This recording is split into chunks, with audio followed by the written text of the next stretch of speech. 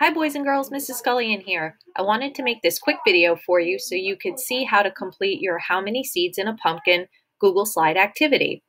So I'm in Miss Agro's uh, Google Classroom right now and this is the, the stream and I'm going to click on the classwork tab and since the how many seeds in a pumpkin activity is a math activity, I'm going to scroll down to math and you'll see it'll say how many pumpkin seeds activity here. So I'm going to view the assignment and I can see that, you know, there's really no other directions here. So what I'm going to do is, is I'm going to click on the Google slide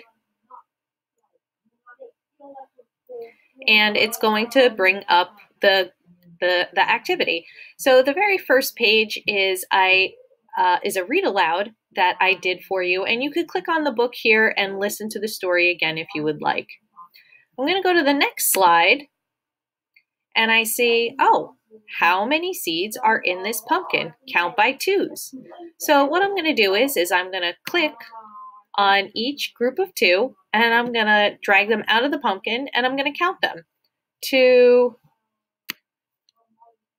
four, six, eight, 10, 12. Oh, and one more is 13. Well, I'm going to write those numbers in the equation boxes down here. It says write the equation to show the groups you added and then the sum. So let's see, I added 2 plus 2 plus 2 plus 2 plus 2. Let's see, how many groups of 2 do I have? One, two, three, four, five, six twos here. So one, two, three, four, five. Oh, I need one more two. Six, and then this one seed right here. So that's plus 1 equals 13. And that's one type of slide that you're going to be completing. You're going to count the groups of pumpkin seeds, move them out of the pumpkin, count them, and then write your number sentence of the groups that you counted. The other type of slide that you're going to do is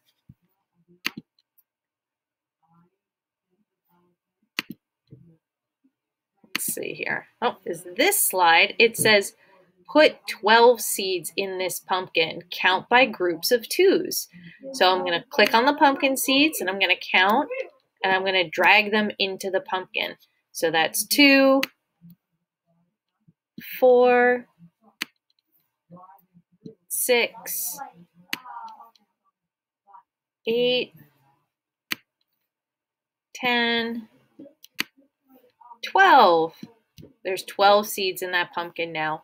Is 12 even or odd? Right in the box. Well, let's see.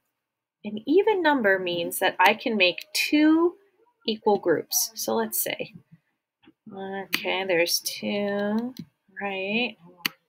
Three, five, six. Oh, wait, and now I have six over here. Oh, this is like a doubles fact. So there's six here, two, four, six. That's on one side. And now there's two, four, six. Oh, here, that's on the other side. That's two equal groups. So that means the number 12 is even. And I'm going to write even in the box here. And that's it, boys and girls. You have to complete all the slides. There are, let's see, how many total slides are there? There are 15 total slides for you to complete. And when you're all finished, all you have to do is go back to your Google Classroom and hit the turn in button and then you're all set. You did your how many pumpkin seeds activity. So have fun. I'll see you soon.